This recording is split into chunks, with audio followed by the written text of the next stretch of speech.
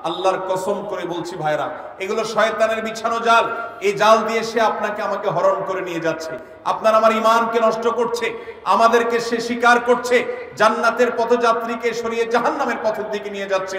ইসলামের গুরুত্বপূর্ণ একটা বিষয় হলো ইমানের গুরুত্বপূর্ণ একটা পাঠ হলো, ওয়ালা এবং বারা থাকতে হবে মুসলমানের মধ্যে। ওয়ালা মানে হলো, মুসলমান কাউকে ভালোবাসবে কার খাতিরে? আল্লাহর খাতিরে।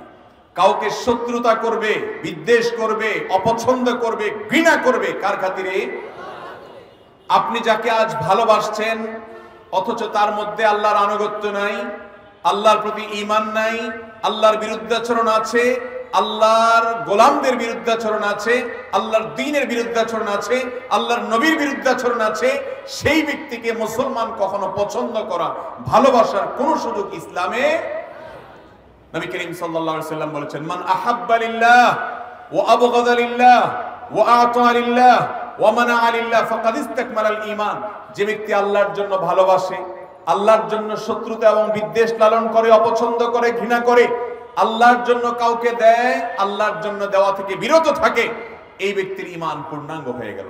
আর যে ব্যক্তি জগা খিচুড়ি জগা খিচুড়ি বুঝেন? জগা খিচুড়ি মানে হলো সে একজন তথাকথিত খেলোয়াড়কে পছন্দ করে তাকে ভালোবাসে। আবার দেখা যায় একজন হুজুরের ওয়াজ ভালো লাগে, সে হুজুরেরও ভালোবাসে। এর নাম হলো জগা খিচুড়ি মুসলমান। এর নাম কি মুসলমান ভাই? জগা খিচুড়ি মুসলমান। এই জগা খিচুড়ি মুসলমানের জন্য আল্লাহ জান্নাত তৈরি করেন। জান্নাত তৈরি করেছেন ওই মুসলমানের জন্য। যেই মুসলমান নিজেকে পিওর মুসলমান হিসাবে দাবি করতে পেরেছে, প্রমাণ করতে পেরেছে। আল্লাহ আলামিন আমাদের দেশের সকল মুসলমান ভাই বোনের ইমানকে আমলকে হেফাজত করুন। আমাদের সামনে অনেকে দলিল পেশ করেন, যুক্তি পেশ করেন, বলেন, ভাই, আরব বিশ্বের মানুষরা কি ইসলাম বোঝে না?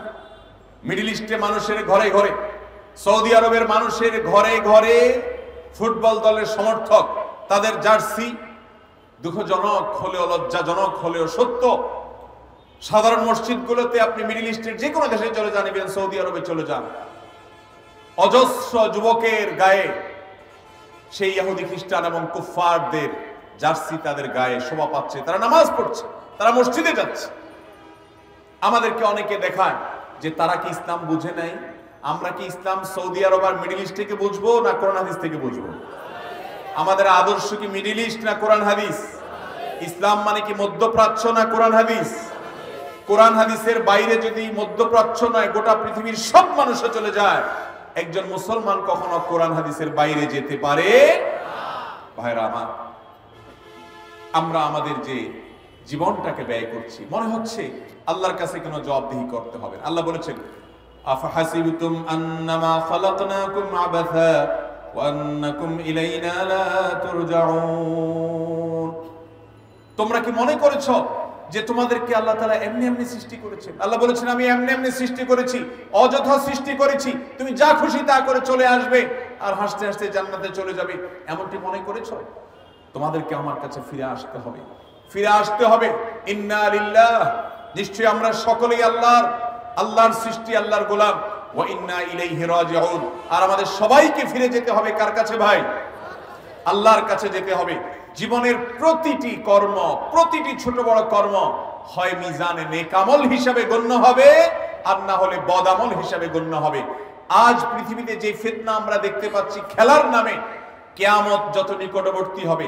আমাদের পরবর্তী জেনারেশন যারা আসবে, তাদের সামনে এরকম আরও চটকদার, আরও নানান মুখরোচক অনেক আয়োজন আসবে। এই আয়োজনগুলো সব শয়তানের বিছানো জাল। আল্লাহর কসম করে বলছি ভাইরা এগুলো শয়তানের বিছানো জাল। এই জাল দিয়ে সে আপনাকে আমাকে হরণ করে নিয়ে যাচ্ছে। আপনার আমার ইমানকে নষ্ট করছে, আমাদেরকে সে স্বীকার করছে, জান্নাতের পথযাত্রীকে সরিয়ে জাহান্নামের পথের দিকে নিয়ে যাচ্ছে। সময় হয়নি এখনও তবা করা তবা করব তো ইনশাল্লাহ তবা করব তো ইনশাল্লাহ আমরা প্রত্যেকে একজন যুবক ভাইকে অন্তত বুঝাবো। এই মসজিদে যারা আছি, একজন যুবককে, একজন পরিচিত আমাদের মাহারাম বোনদের কাউকে আমরা বুঝাবো যে তোমার ভালোবাসা এত সস্তা নয়। ও মুসলমানের সন্তান, তোমার ভালোবাসা এত সস্তা না যে তুমি কোনো কাফিরকে তোমার ভালোবাসা দিয়ে দিবে। তুমি কোনো ভিনদেশি মানুষের পতাকার জন্য লক্ষ লক্ষ টাকা উড়াবে। এমন দেশে, যে দেশে মানুষ টাকার অভাবে চিকিৎসা করাতে এখনও পারে না। যে দেশে বহু মানুষ টাকার অভাবে নিজের সন্তানের মুখে খাবার তুলে দিতে পারে না, যে দেশে মানুষ টাকার অভাবে বাবা মায়ের লাশ হাসপাতাল থেকে ছাড়াতে পারে না, সেই দেশে বসবাস করে। কোথাকার কোন দেশের মানুষের জন্য লক্ষ লক্ষ কোটি কোটি টাকা ব্যয় করা হবে? তুমি সেই কাতারে সামিল হতে হবে। মুসলমান তো পরের কথা, ন্যূনতম যুক্তিবাদী, ন্যূনতম বিবেকবান মানুষ কখনো এই কাজ করতে পারে? আমরা সবাইকে বোঝানোর চেষ্টা করব না ইনশাআল্লাহ। আমাদের একজন ভাইকে অন্তত যদি আমরা ফেরাতে পারি, এটি আমার আখেরাতে নাজাতের একটি মাধ্যম হতে হবে। একটি উপকার হতে পারে তার এর মাধ্যমে জান্নাতে যাওয়ার পথ আমার সুগম হতে পারে। একটা কদম আমি হয়তো আগাতে পারি। চেষ্টা করব না ইনশাআল্লাহ। আল্লাহ তালা আপনাকে, আমাকে, আমাদের দেশের সমস্ত মানুষকে, গোটা দুনিয়ার মুসলমানদেরকে সব ধরনের শয়তানের ষড়যন্ত্র থেকে বেঁচে থাকার তৌফিক দান করুন।